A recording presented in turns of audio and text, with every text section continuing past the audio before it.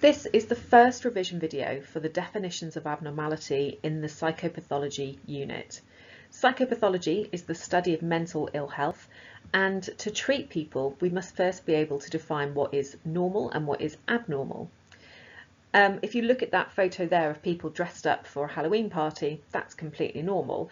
What wouldn't be normal is if somebody was, say, a nurse and they went to work dressed as Freddy Krueger and didn't think there was anything wrong with that.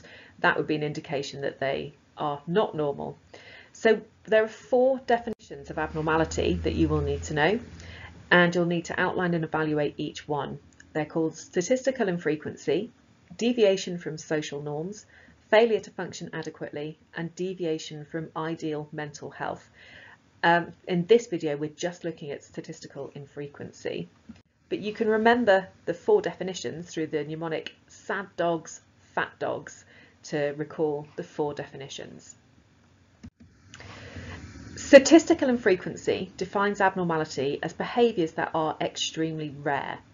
So have a look at the picture there and you can see a bell-shaped curve and along the x-axis you can see the zero that represents the mean for a particular behaviour or a particular characteristic that is normally distributed. And then the standard deviations go in either way from the mean, so people who do things more than the mean or people who do things less than the mean. And we're looking at people, statistical infrequency says that certain, uh, if you are over two standard deviations away from the mean with your particular behaviour or characteristic, then that is an indication that you may have mental ill health. So the dark blue section are people who are one standard deviation from the mean. The light blue section, they're two standard deviations and anyone who falls into that category is considered normal.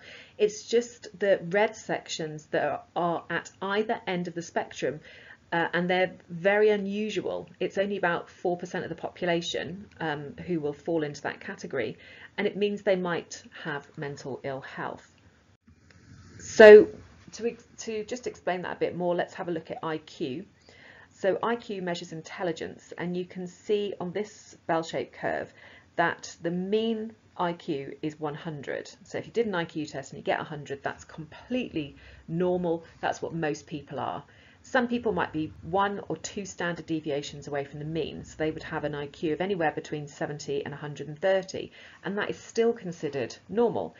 But 4% of the population, roughly, are going to have uh, they're going to be over two standard deviations away from the mean. So if you have an IQ of less than 70 or over 130, then that is complete, that's very, very rare. And if it's under 70, then that's an indication that you might have an intellectual disability disorder. In, in terms of other behaviours in when you know when we're looking at mental ill health, um, we're talking about certain behaviours and characteristics that are normally distributed. So it could be something like um, a fear of, like having a phobia, so fear of dogs or clowns, etc. Um, so most people might have um, an anxiety or a fear of something to a certain degree, but it's people that have extreme fears who would be over two standard deviations away from the mean would have a phobia and then people who have an obsession with something, say dogs, they're also not normal. That might indicate that they might have um, an, some kind of obsessional behaviour going on. Um, you can see some pictures on the screen. Um, that guy there is called Charlie and the woman licking the toilet seat is called Claire. And if you're in my class, then I will have shown you a, a video, a short video about those people. They're from a program on Channel 4 called um, Obsessive Compulsive Cleaners. Um, I'll put a link in the description below for anyone who hasn't seen it. It's only a few minutes long. When you watch it, you can see that both of these people have unusual behaviours. So in terms of cleaning, um, a normally, like, let's imagine that a normal amount of cleaning per week might be, I don't know, six or seven hours or something. So the mean might be seven hours cleaning a week and then anyone who cleans like more or less than that is considered normal. If you're but if you're over two standard deviations away from the number of hours that most people clean, then that's considered abnormal. And that's represented by Charlie and Claire. So Charlie doesn't clean at all and has something called hoarder's disorder, which is a form of OCD. And Claire has, she cleans for 22 hours a week, which is also not normal and she has, a, you know, she also has OCD, um, but it is expressed in a way that she is obsessed with cleaning. So Charlie can't throw anything away and Claire can't stop cleaning. And both of them are abnormal. When you look at the comments section on the YouTube video clip of it, it frustrates me. There's loads of people saying things like, oh, I wish I was like Claire. I could do with being her. Claire doesn't want to be Claire. If you listen to what she says, she hasn't got a partner. She doesn't get to socialise. She says that she can't even have a cup of tea because there's a bullying voice in her head saying, you've got to go and clean the kitchen. So it completely dominates her life and it and it ruins her life. Um, and the same with Charlie, you know, he can't socialise, he can't have people over, he lives in complete squalor and he's just completely overwhelmed by it. He doesn't know where to start. He doesn't, he can't, it is a disorder. And so both of these people are displaying infrequent, rare cleaning behaviours, but from either end of the spectrum.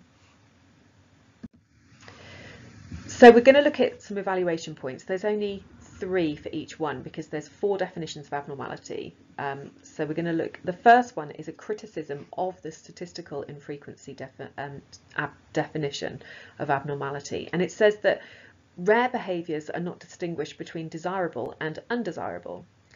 So statistical infrequency is criticised because some rare behaviours, such as having a high IQ, are desirable, and some common mental health issues, such as anxiety, are undesirable. And in order to identify behaviours that need treatment, there needs to be a means of identifying infrequent and undesirable behaviours. And the reason I've got a picture of that guy there, he's called Dara Ó Briain, he's an Irish comedian. And he's got an incredibly high IQ. And I think there was a programme where he, he sat the GCSE maths exam with no preparation uh, to see how he'd get on and he got an A star and he only did 10 minutes like of the exam. So he's not someone who is abnormal or has a mental health disorder. He's just someone who's very intelligent. So he's a good example of someone who is statistically infrequent but doesn't have an abnormality that we know of.